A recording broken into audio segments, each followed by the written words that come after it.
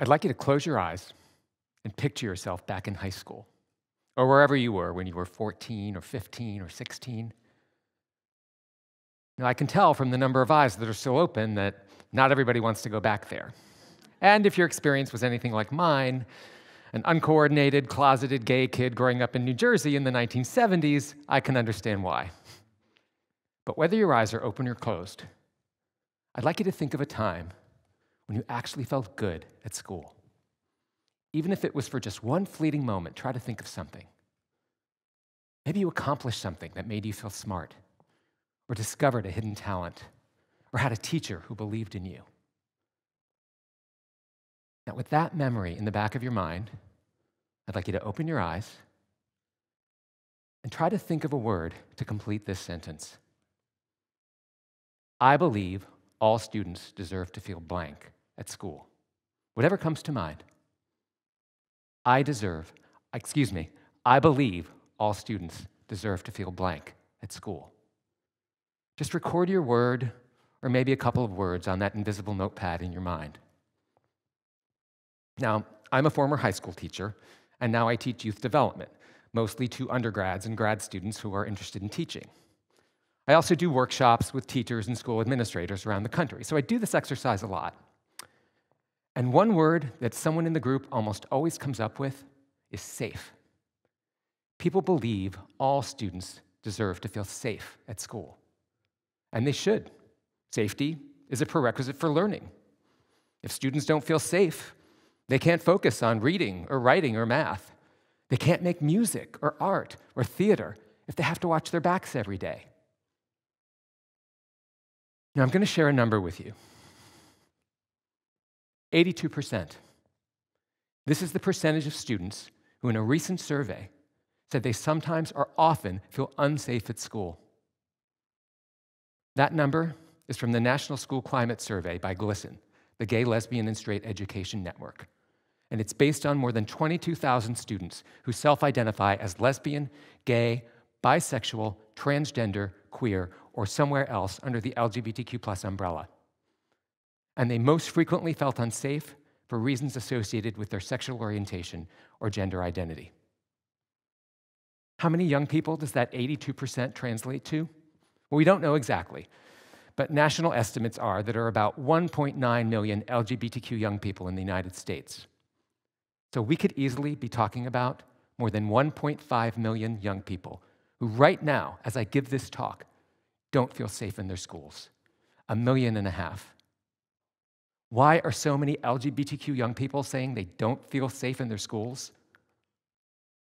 Well, 68%, more than two thirds, say they often hear homophobic or transphobic language. Four out of five have been verbally harassed, either in school or on school grounds and about a third have been physically harassed.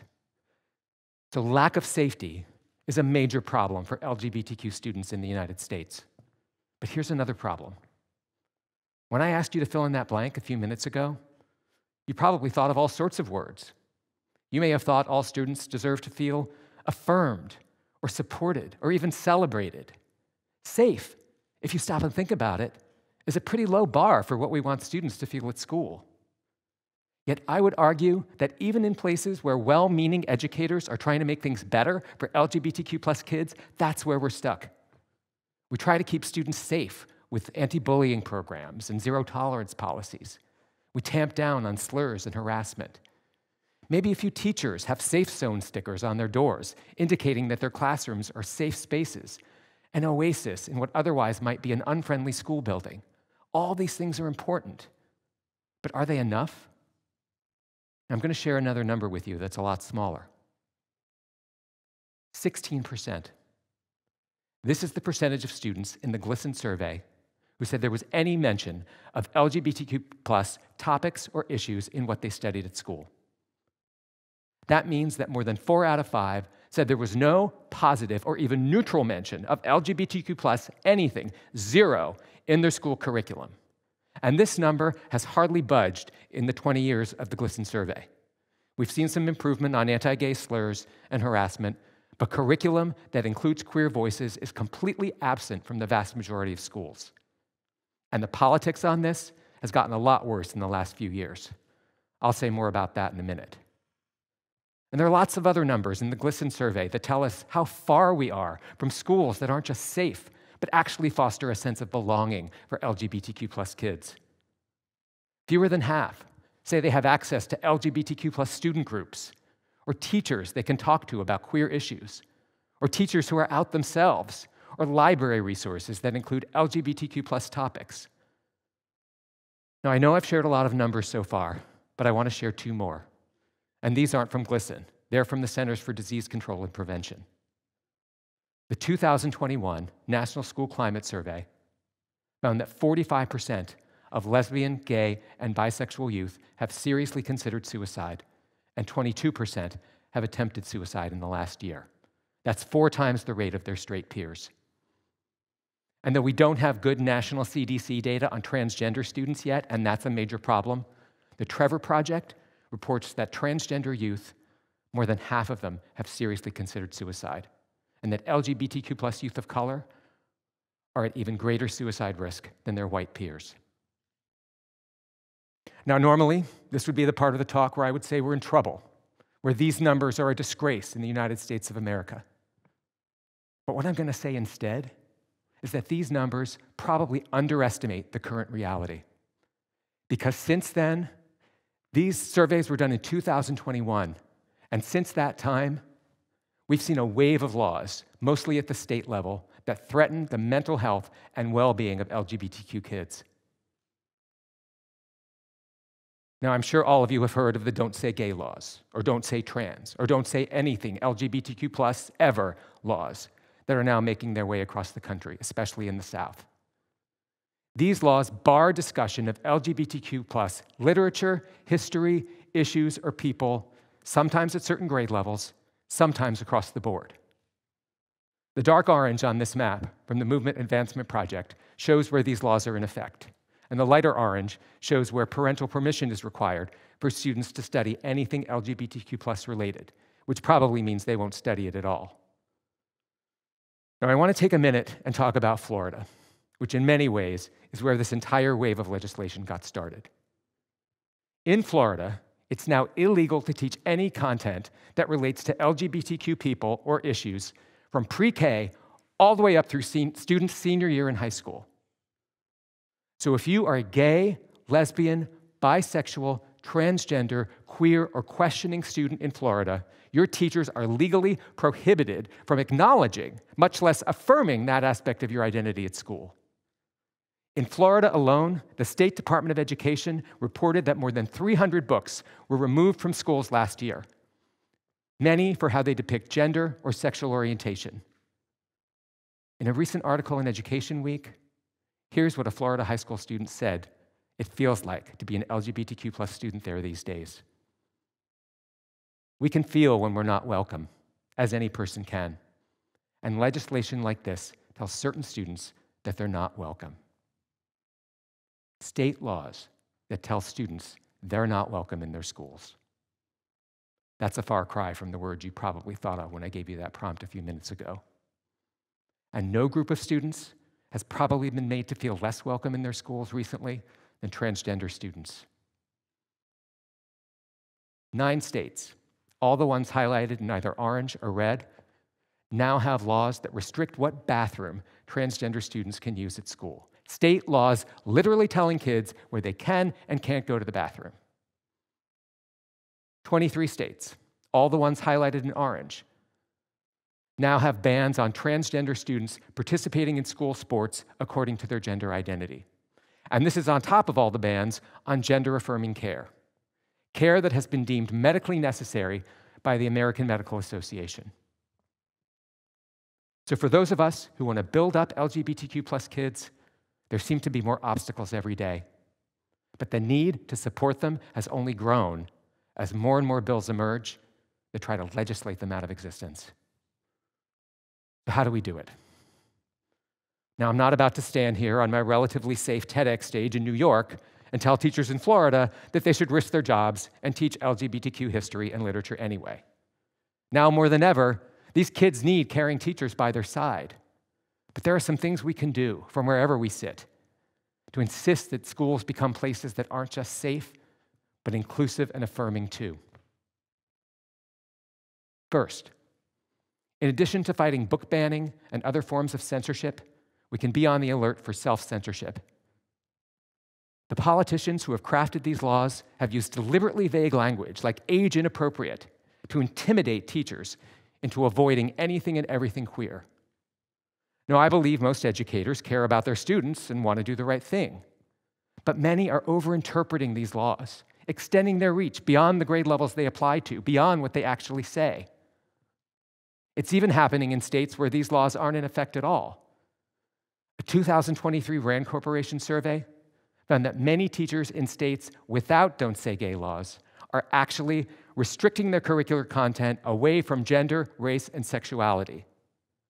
So we need to make sure we're clear about what these laws say and what they don't say. Two, push for inclusive teaching where it's still legally possible and for laws that not only support it, but mandate it. I'm going to show you a map I showed you a few minutes ago. But now I'm going to ask you to focus on the green states California, Oregon, Nevada, Colorado, Illinois, New Jersey, and Connecticut all have laws that require the teaching of LGBTQ plus content in state curriculum standards. More states, cities, and towns need to be doing this, especially when we know that teachers in states without Don't Say Gay laws are avoiding queer content.